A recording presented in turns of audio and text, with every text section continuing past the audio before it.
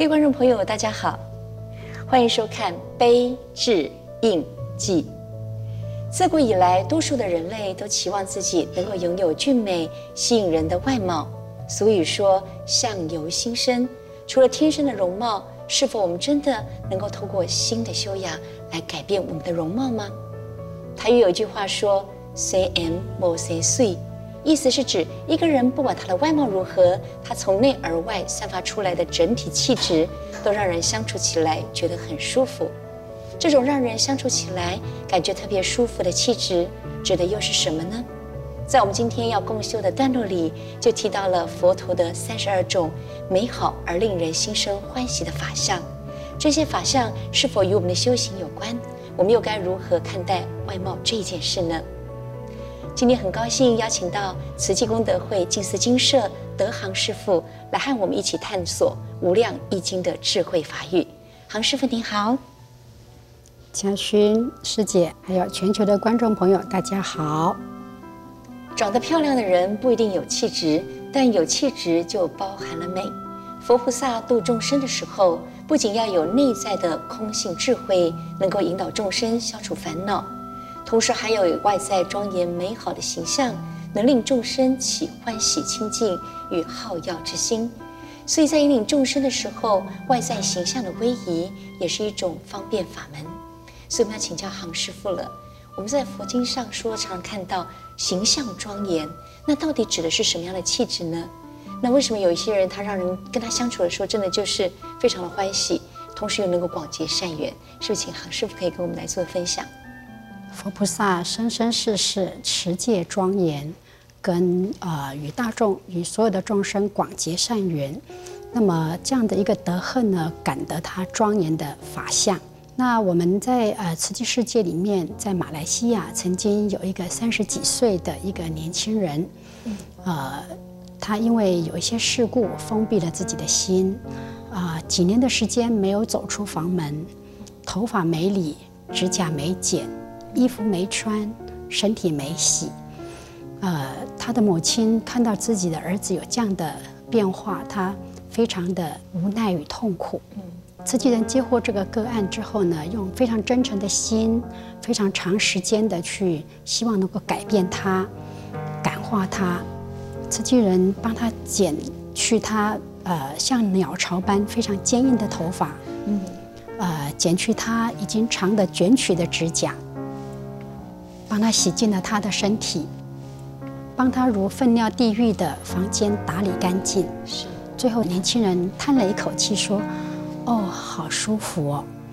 其实最开心的是他的母亲，因为慈济人打开了他儿子的心门。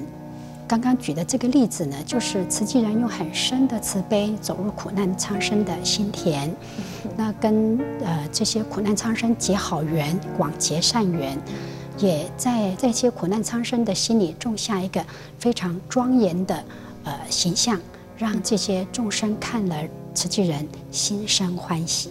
这个上人曾经讲过一个故事，就是佛陀，呃，带着弟子行脚在外，有一只鸟飞在所有的修行人的头上。这个这只鸟呢，看到了舍利佛，但是这只鸟不敢接近舍利佛，是因为这只鸟感觉舍利佛还有非常强的锐气。但是后来这只鸟选择了在佛陀的肩上停留下来。因为佛陀的慈悲，让这只鸟感受到了，是，所以慈悲是要靠修行得来的。我们都知道，一个人的喜怒哀乐，他可能透过脸部的表情，还有肢体动作去显现出来。那我们常说嘛，相由心生。那我们又如何能够让我们的自己整个的，不论是外显的形象，还有内在的修为哦，能够达到一致？因为上人告诉我们，心美一切就美。那我们该怎么样去注意我们自己的言行举止，或者是我们的内在修为？这个要从内在跟外显两方面谈起。是在内在方面呢，呃，上人教导我们，遇到任何事情都要都是要借势练心，调整自己的心态。所以在我们慈济有四神汤：知足、感恩、善解、包容。当我们把自己的心态调整好了，你所展现在外面的，自然就是声色调和、温言软语；所谈的话，自然就是口吐莲花。那在外显方面呢，呃，上人非常注重每个人的服装仪容。嗯，一个人不需要穿得光鲜亮丽，但是一定要端庄整洁。嗯，在团体里面，大家都穿制服，每个人自己照顾自己好自己的形象，自然整个团体的形象就美。那么从这个内修跟外显两方面做起之后呢，还要注重四威仪。四威仪就是行如风，立如松，坐如钟，卧如弓，言谈举止轻言细语，啊，然后呃这样子慢慢的修炼呢，就可以得到行为非常的端庄。对呀，像我自己也觉得啊。呃，这些年在慈济家庭，然后感染到慈济的家风，的确好像自己的内外哦，越来越能够合而为一，那种感觉也是很舒服的。其实我们的大家庭里面，很多师兄师姐也也都有很多的变化。慈济世界里面，在花莲的慈院之宫，有一位常住之宫是苏竹师姐。嗯，啊，苏竹师姐她以前的婚姻非常的不顺遂，所以她呃内心有很多的埋怨。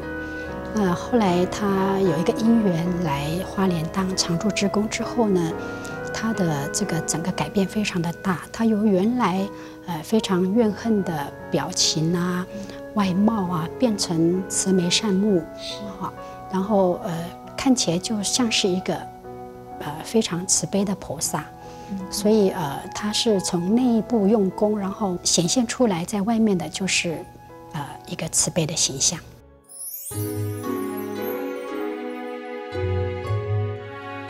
的确，我相信到过我们慈院，很多人都有碰到素主师姐，都可以感受到她那种亲和跟与人欢喜的那种慈悲心。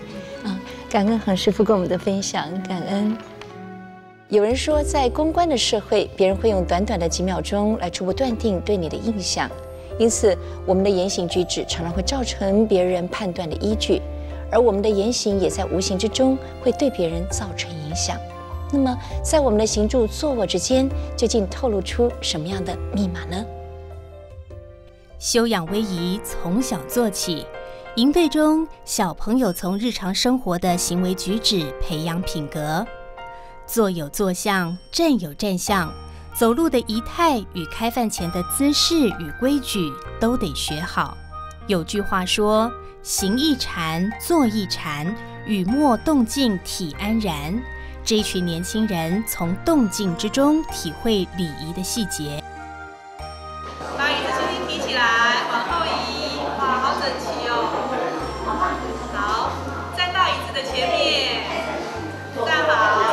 原来专注于不起眼的小动作，也能包容大意义。注重威仪是修养心性的第一步。因为我们常常会在小细节里透露出不经意的习惯，慈济志工殷殷叮咛，就是希望从小训练孩子们的仪态。因为三千威仪离不开行住坐卧，有威可畏，有仪可敬。从礼佛到生活行仪，蕴含的学问，除了修身养性，也可影响别人。外在的威仪从内心修养而来，就算坐得再久，也挺起腰杆子，丝毫不懈怠。在志工的研习会中，每一位参与者立如松，坐如钟，守护威仪，让人看了心生欢喜，并且能够发挥团体的力量，带动其他人行礼如仪，一同修养身心，守护礼仪之美。现代的社会崇尚素食的美，但这样的美往往没有办法持久。若要真正能够长长久久保鲜的美，还是要来自我们内在的修养。其实佛陀就是我们最好的典范。《无量易经》中提到：戒定慧解知见身，三明六通道品发，慈悲实力无畏起，众生善业因缘生。意思是修持戒定慧三无漏学之后，就能有三明六通，甚至产生与佛同等的慈悲实力。所以，接着要请教一下杭师傅，能跟我们解释说明一下，到底慈悲实力是什么样的力量？佛生生世世修学无缘大慈同体大悲，众生的苦就是佛的苦，佛把它当作是自己的苦，所以呃。在长时间的这个悲悯，让佛有这种修学到这种十种不可思议的力量，是慈悲实力。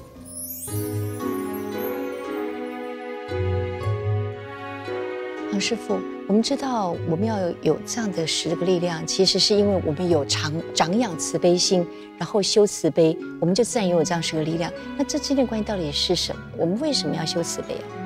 所有的佛菩萨都是从慈悲悲心修起的，是哈，就好像上人呃跟我们说，我们每个人其实都是在禅如来。佛陀说，心佛众生三无差别，每个人都有如来清净的本性，只是因为无名烦恼覆盖了。那只要我们啊不断的修学悲悯苦难的苍生，那么总有一天我们成佛了，我们也会得到这种十种不可思议的力量。那是不是也可以请杭师傅跟我们分享一下？因为嗯时间的关系，我没有办法一一说明这十种不可思议的力量。那您可以举例其中一个，让我们也可以有所学习跟修行。呃，我来举第二个知三世业报之力。那我们每个人都是在三世业报当中，三世就是过去世、现在世、未来世。那呃，上人教导我们说，如果说我们这一生当中不如意的事情比较多，那我们也不用埋怨，不用烦恼，因为我们过去生就是没有修得这样的福报，所以我们自然就得不到这种福。那我们受这种比较没有福报的果报的当下呢，我们要赶快修福的因，种下福的这个种子，来生来世我们自然就会得到大福报。那我们不断的精进，来生来世我们自然就可以得到大智慧。在我们的这个志工里面，很多的师兄师姐，其实他们都不断在体现哦，这种达到慈悲实力的那种不可思议的那种呈现。那可不可以也请您跟我们来分享？呃，在我们大爱剧场，其中有一个呃阿川所在，这个阿传所在他在呃结婚前他是家里的掌上明珠，那结婚之后呢，婚姻非常的不顺遂，他也有很多的埋怨。那后来进入慈济世界之后呢，他知道这是三世业报，他这是他的因缘果报，所以他甘愿接受这一切的不顺遂。然后在慈济的菩萨道上呢，他非常努力精进的付出。啊，我们就可以看到说，这一世他的婚姻非常不顺遂，呃，姻缘结束之后呢，自然这个果报就结束了。那他今生此世不断的播下好的因福的种。来生来世，自然就会得到美好的果实。感恩师父。当一个人的品德与修养达到一定的水准，自然就能够展现出出众的能力。其实，这样的能力是潜藏在每一个人的身上，只是因为不容易修行达成，所以显得格外的珍贵。慈悲舍利其实就像晋级清晨的境界，也曾昙花一现的出现在我们生活中的某个时刻。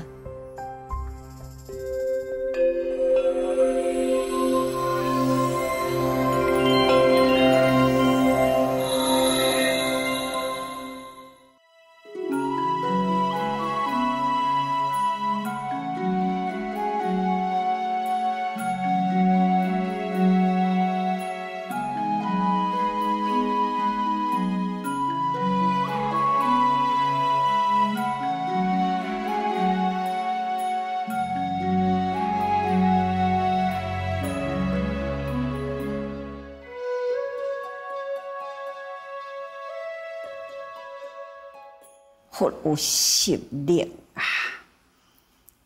其实，咱若有迄个实力啊，就以地教理，咱的地呢，就会当通教现啊真多的道理出来。那真正叫做道理，就是你出了一条路来。那安尼呢？就会乃至迄个错过脱落啊，那得六根清净。所以咱那会当用理智啊来教现了这个道理啦，自然呢错过的脱落，迄个初中的烦恼，像咱的人生即么现在的凡夫，多一个人呢，毋是为着初当的烦恼啊，互你看袂着、望袂着，但是迄个内心呢，都是解不开呀，脱不了啊。所以即卖现在人讲压力真大，是虾米压力呢？就是初中迄种诶真粗诶个话，安尼甲咱得着，所以咱也会当按照即个智慧啊，去找出迄个道理啊，自然呢，迄个错过过就是过话，就是烦恼，自然伊就会脱落吼，会当当得着六根净啊。咱的六根都清净啦，眼耳鼻舌身意，对着外面的境界啦，未动摇咱的心，这就是啊，需要有这实力。实力那就是啊，如来所具有十种的啊力量，迄个用的力吼。虽然咱现在要反复啦，咱爱。照这个经典啊，来教这个道理吼，所以咱爱按照这个道理来行，咱就一步一步呢，挖进这个实力的智慧。慈悲实力的展现，看来重点也在于慈悲的内在修持。世间苦难能启动人的爱与悲心。从慈济克难功德会创办以来，四十七年间，在慈济道场启发了许许多多把苦与乐的人间菩萨。能不能请杭师傅可以为我们具体的举出我们真的能够展现出慈悲实力的人间菩萨身影？在慈济世界里面，有很多菩萨都是展现的慈悲实力的这个力量。那我举例一个，在海地发生地震以来三年。美国的慈济人不断的去海地，呃，去希望能够协助他们，慢慢的这个生活能够步上正轨。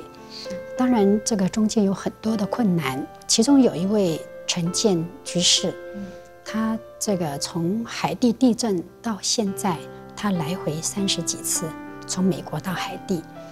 最近呢，海地的这个天主教的女子学校已经。盖好了，然后我们也交给天主教的这个修女。为什么盖学校？就是因为学校都倒了，那我们慈济人不舍得、不忍心让这些孩子没有办法受教育。那要帮他们盖学校，其实是不容易的，因为海地的修女他们自己没办法决定，必须要回到美国的总会去请美国天主教的。这个修女决定，然后海地这个国家，我们要把所有的建材运过去，都非常的不容易。当然感恩很多这个菩萨的帮忙，但是成见菩萨是一个，呃，在这个海地地震以后非常用心用力的一个菩萨。杭师傅，那像陈建师兄他这样子，体现出是慈悲实力中的哪一个力量呀？我们知道这个陈建居士呢，他在海地。帮助了这么多人，也帮助了这个呃学校的建起来。当然，一个学校的这个树立是要非常多的人共同的努力。但是呃，我们知道学校盖起来以后，我们看到孩子们欢天喜地，啊，修女们非常的欢喜，所有的人都在这个欢喜的当下，我们就知道他们这一辈子所造的是这个因，就是呃第七个。知一切智所到之力，啊，今生此世造了那么多好的因，那么来生来世自然就会到安乐的彼岸。嗯，所以陈建师兄他也就是体现了这样的一种力量。哦，所以真的众生欢喜，其实佛就欢喜嘛。所以当下我想他能够体会到的真的是一个佛的境界哦。嗯。我们都知道有一句近似语说：“慈悲要从内心启发，造福要用身体行动。”所以我们要长养我们的慈悲心。那么，到底我们应该怎么样能够去履见这种佛菩萨的本愿？怎么样能够真正的去长养我们的慈悲心啊？一个学佛者要学习佛菩萨的无缘大慈、同体大悲。什么是无缘大慈、同体大悲呢？一个与我们呃素不相识、无缘无故的人。当他们因为天灾人祸，造成生命财产的损失，或者是生活上的不方便，在我们的内心都会升起一份不舍的心，希望能够去帮助他们回归他们正常的生活。如叙利亚，因为少数人的观念，啊，造成了内战，有几百万人流离失所。那么我们看到他们这样的处境，我们也心生不忍。师傅，那在日常生活中有没有什么样的方法，让我们能够真正的长养慈悲心？长养慈悲心的方法有呃，比方说，呃，我们不舍苦难苍生的这些因为天灾人祸造成生命财产或生活上的不方便，那一般的众生很快就会这个慈悲心就会减掉了。那我们如果说能够一地而处，啊，他的不方便，他的种种。今天变成是我们，我们的生活会造成多么不方便？那我们的心的想法是怎么样？那么还有一个就是，呃，上人说要竹筒岁月，日存爱心。我们每天都，呃，跟佛菩萨发好愿，啊，希望能够帮助普天下的苦难苍生。还有就是我们要素食，要护身，要爱护我们的山河大地。我们呃，山河大地平安，我们生活在山河大地上面的人才会平安，所以我们每天都要戒慎虔诚。意思就是说，我们对内关照，然后希望能够把那种异地而处的那样子的感受，能够借由行动去付出。那我们才能够真正体会到慈悲，而且第二点更重要，就是说，是不是能够日日，事实上是时时能够带有这样子一种愿力，希望自己能够让慈悲充满我们自己的内心，而能够付诸于行动。感恩杭师傅。所谓相由心生，我想大多也是因为我们心中的念头会透过脸色与口气传递出去。日子一久了，就养成一种固定的脸型，也散发出某种特定的气质。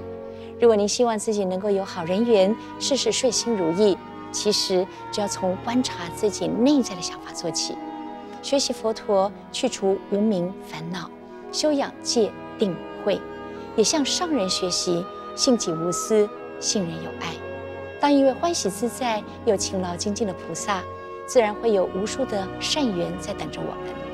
今天非常感谢您的收看，我们下次节目再会。